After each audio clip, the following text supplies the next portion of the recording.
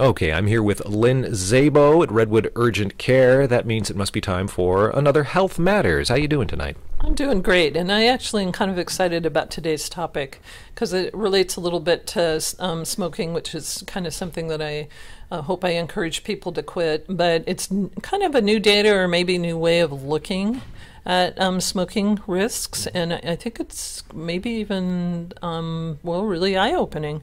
So one thing to know is that in California, there's a 12.2 percent um, kind of smoking rate in the state as a whole. But unfortunately, in Del Norte, it's more like 24%, and it's gone up about 8% over the last, I would say, eight years. Whoa, that's a strange trend, isn't it? It is. It's totally going in the other direction, and it's a huge problem up here. So um, I thought it would be good to kind of review the, the different kinds of smoking. So there's there's um, definitely um, primary smoke exposure. That's the person smoking. So that seems pretty straightforward. Um, and we all know that we've talked about the risks of that. We talked about how to get help for that. But I'm going to talk a little bit about secondhand smoke and then go on to third-hand smoke, which is kind of a newly recognized problem with smoking. I guess we all kind of knew it, but this we've really looked at it now as far as the studies, and it's really kind of horrifying. I think I overheard you describing to uh, to a coworker here what uh, third-hand smoke was, and I think anybody who's been a landlord understands third-hand smoke. Totally, right? Yeah. absolutely.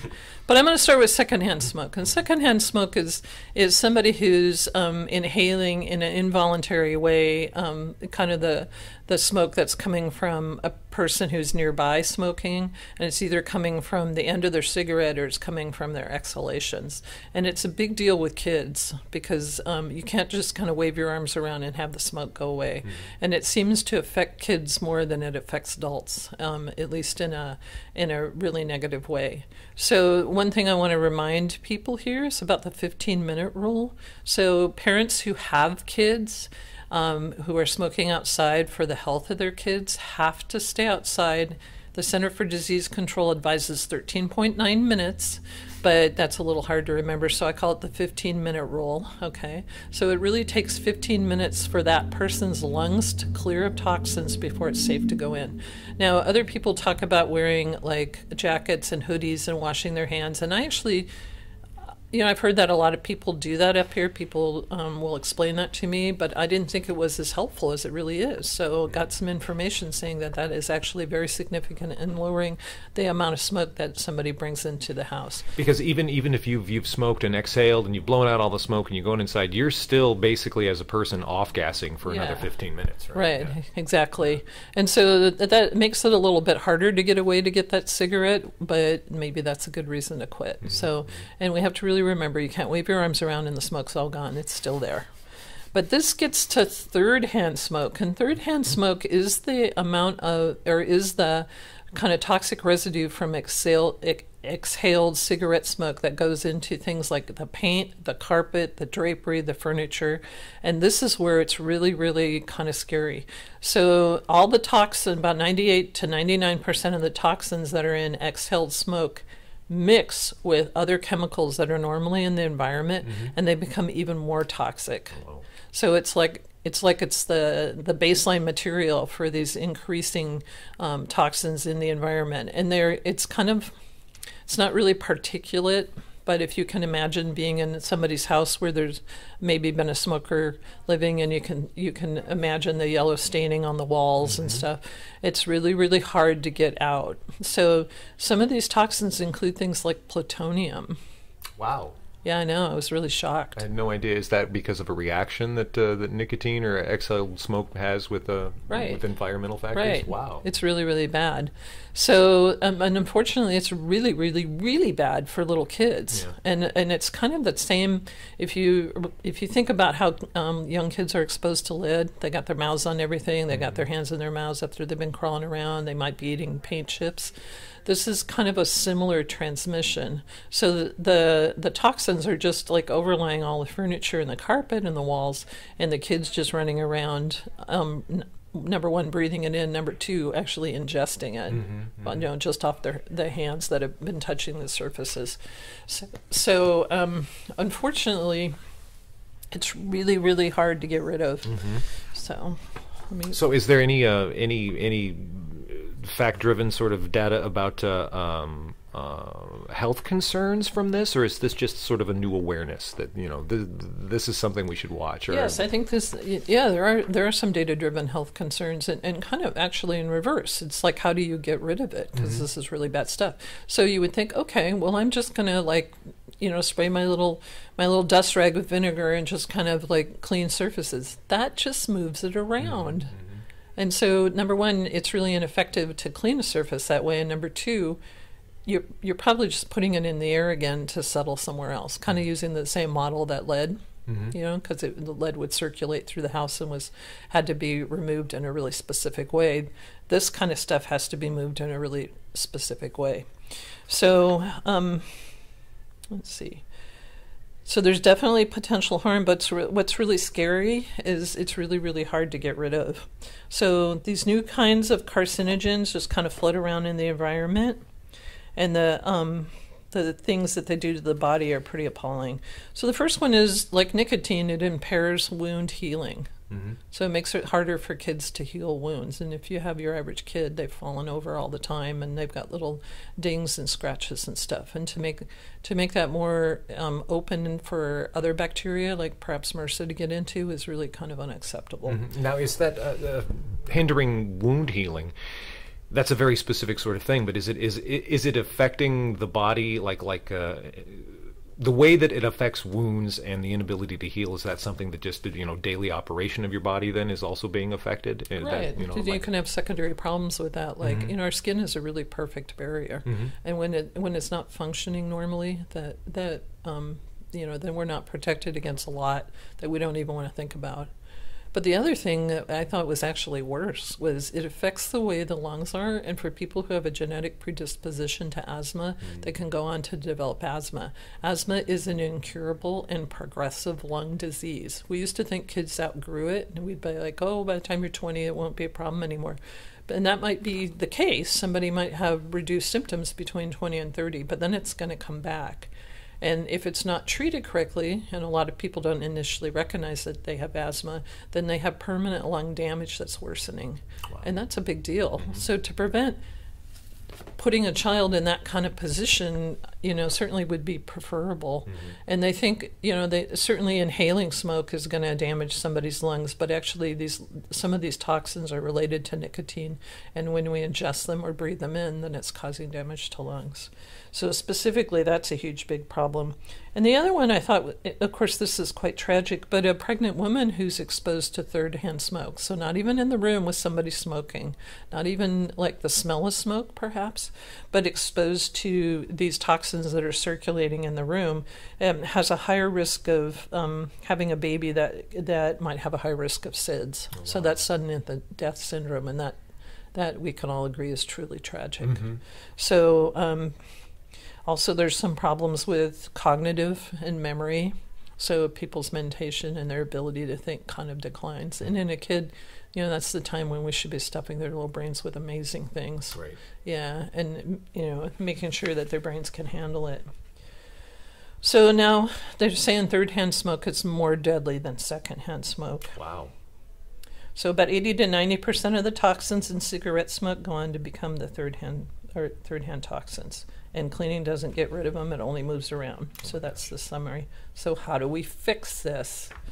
Well, what a great time to stop smoking. That's a good reason to, yeah. yeah. Or repaint your house. Well, so you can't just repaint though. It's, it's actually the protocols are more complex than that. Really? So owners and managers of rentals where people have been smoking, they they've got these extensive guidelines and they include things that are obvious like you got to get new drapes, you got to get new carpeting, you got to get new furniture. But in painting, you actually have to wash the walls very mm-hmm. thoroughly, put one layer of paint on, let it dry, wash the walls very thoroughly, put another layer of paint, and then you have you have to kind of proceed until you get to three layers of paints and that would be actually four thorough washings of all the walls and all the plates. And that actually is data driven showing that that does improve Wow. Wow. the presence of third hand smoke but can you imagine being an apartment manager I- mean like really Mm-mm. that's a lot of expense that's a lot of materials that's a lot of labor um, and i actually don't think most of them think about that Mhm. so that's on addition to new carpeting new drapes perhaps new furniture See, I don't know. I get. I know people who are who are landlords, and yet Mm-hmm. they all think about that.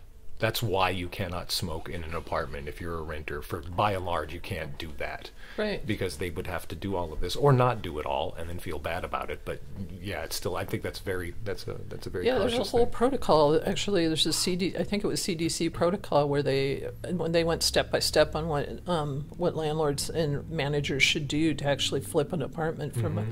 a, a smoking allowed um, to a non-smoking allowed. You know, and what's really sad is you think, okay, well, this person only smoked in their bedroom and they had the window open. Really, that the the data show that the third hand smoke goes through the entire apartment, Yeah. and they have to they have to do this in a whole entire dwelling. Wow. I know. yeah, yeah. It's kind of amazing. But these measures have been shown to lower the health risks that we talked about Mm-hmm. and to actually make a difference. So, this is what I would ask of the parents in Del Norte County who are smokers. There should be strict non smoking rules in the car. Because people will say, well, I smoke in my car except when the kid is there. So, Same the thing. third hand smoke is, you know, laying down all these toxins. Mm-hmm. Excuse me. and so, th- you know, the kid's sitting in the back seat on the car seat, you Yeah. know, probably sucking down some cookies or something and, and then actually ingesting them. So it's real. So strict non smoking rules in both home and car. But this has the upside of decreasing um, the initiation of smoker of Mhm. smoking, maybe from other older siblings who are teens. This has the kind of inspiration for the individual who's a smoker to quit, Mm-hmm. and then this also, of course, decreases fire risk. That's kind of obvious. Excuse me. So, local resources. Um, um, shout out to Tobacco Free Del Norte at um, 707 951 2914, and they're open Monday through Friday. Amber Weir is there 8 o'clock to 5 o'clock, and she'd be really happy to help you. They have a nice website um, with some of this information, a great graphic, which is kind of horrifying, showing cigarette smoking um, more responsible for mortality in our community. Um, even when you look at things like AIDS and motorcycle or automobile accidents and other, you know, cardiovascular disease, um, more smoking-related deaths than all those other ones combined. Wow. And then my favorite, 1 800 No Butts. Go ahead and give them a call. They can work with you. They're very, very helpful. They're oftentimes the first step for somebody on partnership to get um, meaningful help to quit smoking. And um, a lot of them sound, a lot of the counselors actually sound like they've had personal experience. So they're really on board with reaching out and helping people in a way that that can work the best for them. That's great. Yeah. That's great news. That's great. Uh, a great resource to have. And again, I think the, the the key thing that everybody needs to realize in a situation like this is, as if you're a smoker uh, and you're going out and you get your break at work or you're doing whatever and you got your quiet time alone and you're smoking a cigarette, but it's not just you and it's not just that situation, but that whole reality follows you throughout your Yeah. life and affects people that you care about. Yeah, and I think there's there's probably going to be more societal pressure. Although I have mixed feelings about it, I don't want smokers to think like somehow they're, um, you know, they're damaged goods or something. But really, I think um, early on in the smoking thing, we were definitely lied to.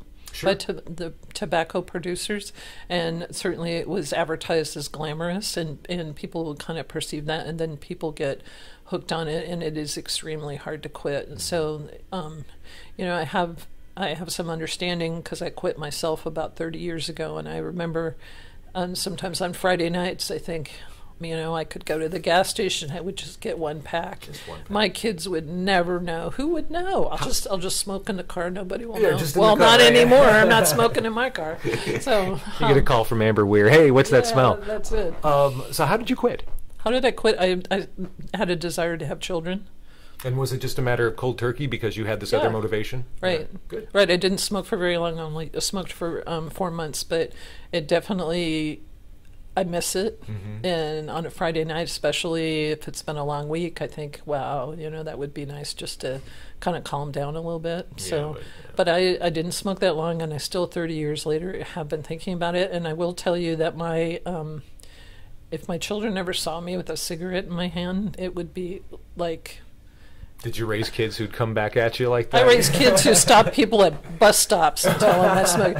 So, um, you know, I just I, I, I think about um, you know, what I would see in their eyes, and then I just go straight home. I don't stop. That's it. Yeah. Just another Friday There's night no- for Lynn Zabel. Yeah, no point. so, Well, Lynn, thank you very much. Is there anything you'd like to add? I just want to say that I'm going to be talking, and I'm currently investigating fluoridation in the water. We don't have fluoride um, supplementation in the water here. Um, it was voted um, out a couple of years ago, and I'd just like to look at kind of a, a data driven analysis and see if that is maybe the best thing for this community, or if we should maybe reassess our position on that. So. Uh, well, uh, hopefully Donna Westfall will be listening because Yeah. that who that's who championed that whole drive. And, yeah, I think uh, I knew that. yeah, Yeah. yeah. So, uh, yeah, let's revisit that. Yeah, yeah, I got all kinds of great information from the CDC, et cetera, et cetera. So, All right, Lindsay. Well, thank you very much. We'll catch you next week for another Health Matters. thank you.